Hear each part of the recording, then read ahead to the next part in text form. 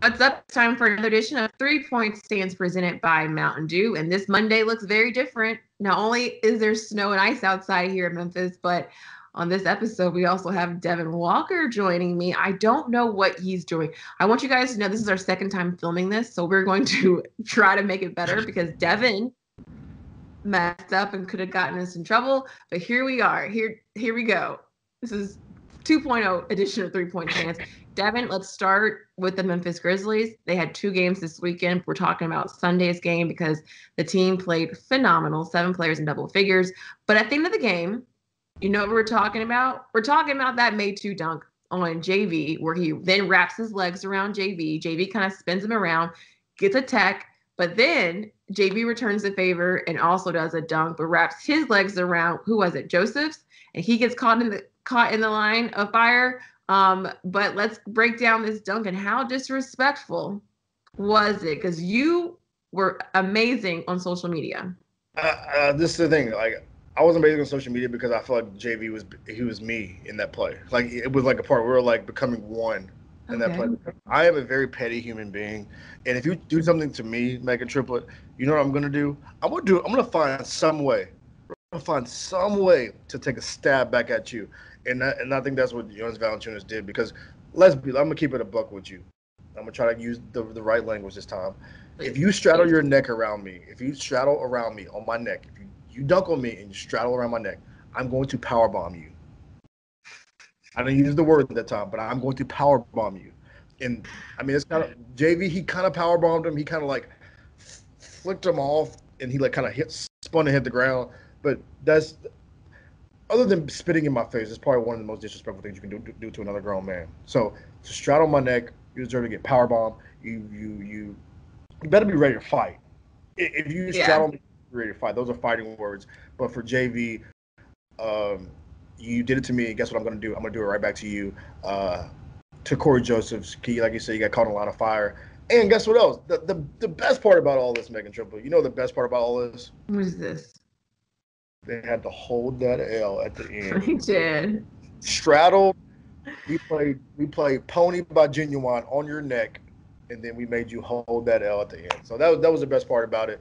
Um, like I said, but the thing is, like, if you if you straddle somebody, you've got to be ready to fight. I think JV would be the one I would want to be ready to scrap in a situation like that. Um, look, I agree with you. I think even him spinning him around like that, I mean, not the right thing to do, but I understand why he did it. Just because, in the standpoint of like, you put your legs around me, very disrespectful. I'm happy that JV took the technical call. I was like, yeah, that's fine, like worth it but then he responded in the best way possible. Shout out to Joe, uh, what's his name, Cory Josephs. I feel bad for him though because he didn't ask for that, but but that's on his teammate. You got to take that up with me too. Like, yo, you put me now on the highlight reel because that was a highlight reel on Sports Center last night. Was the Metu dunk on JV and then JV's dunk on him, and he didn't ask for all that. But you love to see the team sit together. Ja told JV disrespectful. We'll get him back. They did in the best way response, and you I know you are petty, so I agree with you on that one. I've seen your petty ways. Luckily, I haven't been on the other end of it. I don't think, but maybe I have. Yeah. I have no idea. You haven't. It's fine. In the words of Pooh Shiesty, uh, big brr, uh, he come come get it back in blood, Meghan Triplett, but not not actually blood. We got it back in a, a, a poster, I guess. Yeah. So, so, now I need you to sit back because Devin, we keep seeing not your head. Thank hey, you. I want to see your whole face. Like I haven't seen you in a very long time. We don't get the chance to talk to each other very often. This is a very special moment. Let's get to our second stance. Valentine's Day weekend. It is a weekend whether you love it or you hate it, where you see all the flower posts and like, look at my boo got me. Look at what Bay got me. I'm so in love. I have a Valentine, and you see where I am, where I'm at in my life right now. But the best thing for Valentine's Day, what did you see? Uh, I want to ask you first, uh, Meghan. How was your Valentine's Day? well, I had a great Valentine's Day. My dad was my Valentine's. He um, got me lunch slash dinner. I had some ice cream from Baskin Robbins, and I spent it just relaxing. You know, how was yours? Sounds like a sucky day, but um, on the Valentine's Day front, I think uh, I think the one thing about Valentine's Day that's corny to me is the the public, the like wanting to post your Valentine on Valentine's Day to, to like you said to, to as an announcement. I think that's the IG official thing. That's so corny to me because like you can do that on a February, you can do that on a Tuesday in April. You can do it on a Tuesday in March. You can do it on a Tuesday in December. You can do it on Tuesday in November. But you choose Valentine's Day because you want to be in the front of the headlines. That's corny. So That's you're calling, hold on, you're calling Devin Booker, Kendall Jenner corny, Cole Yeah. Tucker, Vanessa Hudgens corny. You're calling some people out. Yeah, that's corny. That's that's super corny. Like you could have posted, you could have posted them on February fifteenth, and I would have been okay, cool. Like, but some people, I feel like a lot of people do a lot of extra stuff on Valentine's Day, and I'm I'm not a big extra guy.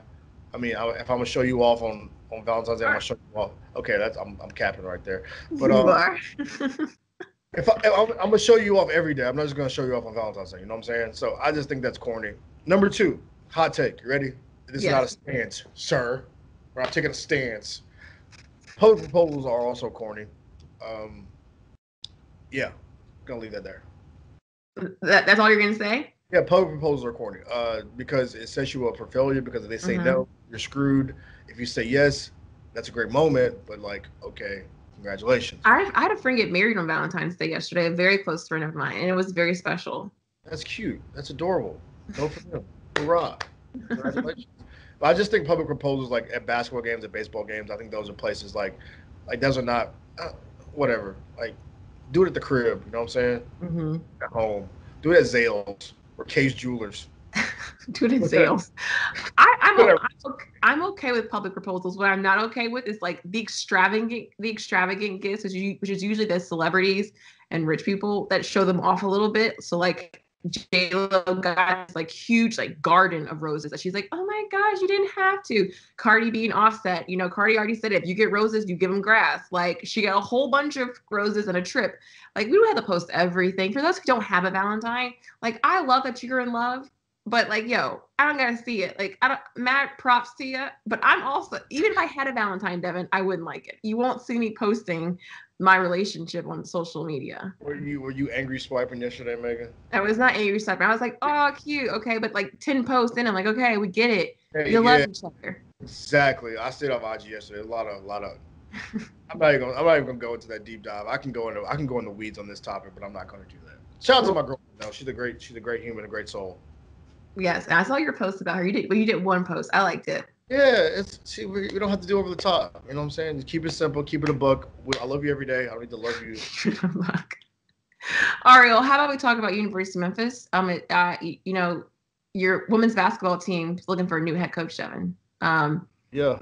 Coach Yeah. McFerrin has decided to retire from University of Memphis. We have literally two minutes to talk about this. So I want to get your take on it because I know that that's your alma mater. You're a fan. You support the team. They're moving into a different direction. And are you happy about it?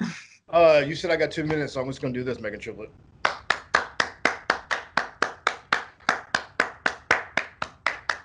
So your stance is good. My stance is about damn time. Um, in 13 years on the job, Meghan Triplett, she had three 21 seasons. In 13 years on the job, she was 193 and 199. Exactly, your face says it all. And and in a city like Memphis, Tennessee, you got to be able to. Mhm. You, you you can't be you can't have a losing record because this is a hoop city. This is bad. We bleed basketball in the city, so you have to, you got to be good. And there's so many great women's basketball players in the city that have left the city because they did they look at the Memphis program. They don't think that's somewhere they, they can succeed. So I hope that today today is a day where we look at the Memphis basketball pro, women's basketball program and we look at, look forward and say, okay, we can make a change, just like the world. It's like America. It's time. It's not. It's time for a change. It's time for Yeah. a change. And um, they get a good coach. Hopefully, they can get a co- good coach on there to, to put them in the right direction because we want to see women's basketball succeed in Memphis. I love watching women's basketball. I want to go to the field house and watch them. So, give me a good product so I can support them. Go Tigers. I'm gonna holler at you, Mr. McFerrin. I hey look, I agree with you. I think now is the time for for change, some time for new. You get the you get the field house. We just went through some like major renovations, and like why not kind of move into a different direction? And you can thank someone for what they did for the program, whether it might not be that much, it might not have been that much, but it's time for some new things. And just like today, a new beginning where Devin Walker talks to me on three point stance. Oh, what don't is that a kissy face? Is that duck face? Okay, we're not retaping this, Devin. I'm keeping this in. I I'm didn't keeping say this in. I didn't say anything bad this time. This in. All right, this has been your edition of Three Point Stance presented by Mountain Dew. Devin, I hope I get to talk to you soon.